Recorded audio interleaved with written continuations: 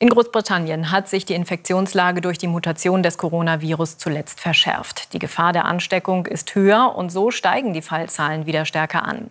Die neue Variante könnte den Verlauf der Pandemie auch in den kommenden Monaten bestimmen. Die Lage in vielen britischen Kliniken ist nach wie vor kritisch. Das Royal London Hospital. Eine Covid-Patientin muss beatmet werden. Acht Pflegekräfte packen mit an, um sie in die Bauchlage zu bringen. Sie ist Mitte 20. Ich schwitze und nicht wegen der Schutzkleidung. Sie ist jung, hat eine Familie. Das ist etwas ganz Wertvolles und wir versuchen sie zu retten. Es ist sehr beängstigend. In diesem Londoner Krankenhaus sind 12 von 15 Stockwerken mit Covid-Patienten belegt. Krankenhäuser im ganzen Land sind ausgelastet oder sogar überfüllt. Das Personal am Limit. Die neue Mutation, der Winter, Weihnachten, alles kam zum absolut schlechtesten Zeitpunkt.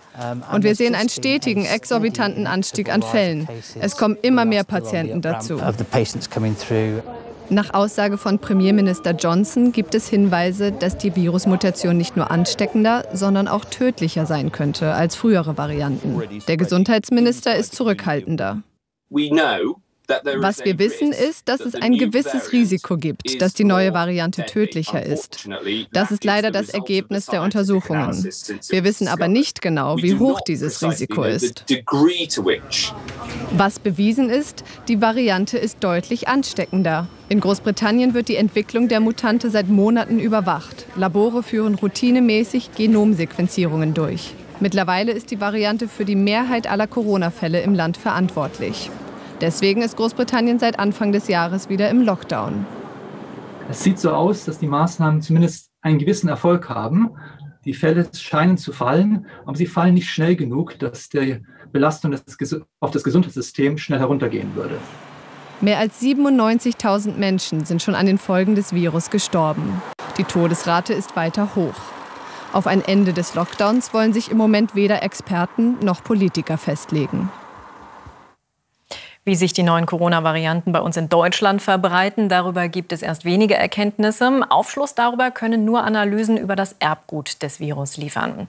Diese sogenannte Sequenzierung geschieht hierzulande allerdings seltener als in Großbritannien und soll daher nun hochgefahren werden. Dafür gibt es Labore mit spezieller Ausstattung. Das Bioscientia-Labor im rheinland-pfälzischen Ingelheim. Heute Morgen wird endlich die Supermaschine gefüttert. 30 Stunden lang liest sie positive Corona-Tests aus ganz Deutschland. Welche Virusmutation taucht dabei auf? Verschlimmert sich das Infektionsgeschehen? Der Sequenzierautomat, eine Art Lesehilfe für die Erbinformation des Coronavirus. Wir lesen die Seite dieses Buchs komplett durch, von A bis Z. Und dann können wir jede Buchstabenänderung, jede Wortänderung in diesem Text sozusagen erkennen und das geht ja dann in die Datenbank, in die, über das RKI, in diese wissenschaftliche Datenbank. Alles aufwendig und somit teurer als PCR-Tests allein. Von nun an sollen mindestens 5% der Positivproben sequenziert werden. Für jede gibt es 220 Euro. Nachbarländer aber hinken hinterher. Erst vor einer Woche forderte die EU-Kommission, die Sequenzierung müsse dringend vorangetrieben werden. Virologen sehen das ähnlich. Schließlich machen Virusmutationen vor Landesgrenzen nicht Halt. Wir sehen ja durch den Reiseverkehr, dass ähm, neue Mutationen, Varianten gerade aus dem Ausland eingeschleppt werden nach Deutschland. Es gibt natürlich auch viele Menschen, die jeden Tag pendeln über die Grenzen, weil sie hier in Deutschland arbeiten. Und das zeigt, dass es auch wichtig ist, auf die Nachbarländer zu schauen. Bioscientia rechnet zunächst mit anderthalbtausend Ergebnissen in der Woche. Das Covid-19-Virus bedeutet auch hier viel Arbeit für Mensch und Maschine.